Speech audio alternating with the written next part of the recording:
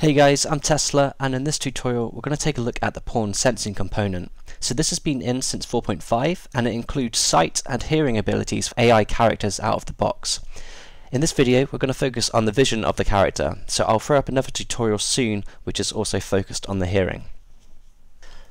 Okay, so let's start by duplicating the My Character blueprint and let's name this Basic AI, just so we have some uh, an AI character here. So let's just delete everything in the graph as well, because we won't need any of that.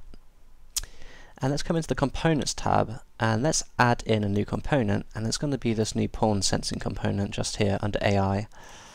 Hit Compile, and we'll see loads of spheres. So the main one we're going to focus on today is just this green one just here. So this is his vision. So to clear it up a bit, we can just grab the peripheral vision angle, and we can see it's basically his view cone here and we can change the sight radius for his vision length. So I'm just going to put it to eh, let's just put it about there. And let's come to the, the graph now and with that pawn sensing component let's select it right click and add an event for it event dispatches and we see we have a add on see pawn event. So we're going to use this and it returns a pawn. So this is basically the pawn that's been seen. So let's drag this out and cast it to my character. So if he sees my character, we could then right click and type in AI move to, connect these up together. The target actor is going to be this guy, and the pawn is just going to be a reference of himself, of this blueprint.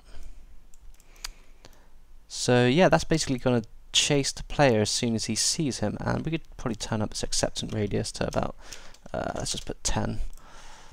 Now before we drag him in, we want to make sure we have a nav mesh bounds volume in the map, which I already do, and you can hit P to turn the, um, the visual markers for that on and off. So we can drag this guy in now, and I'm just going to move him over here, because I think I'm spawning behind, yeah, I'm spawning behind there. So let's just move him there. So if I jump in and go run straight into him, he will then chase me. So it's a really cool um, AI system set up by default with this. So what we can do is change how often he searches um, or fires the event to see if he sees anything.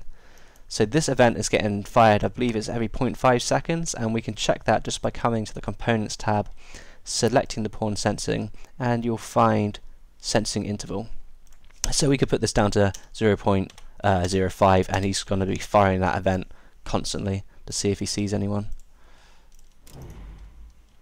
So this should make it as soon as, as he sees me, he'll start chasing me. Yeah.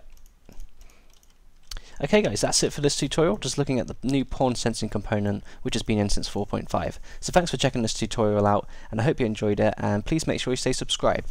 Cheers guys.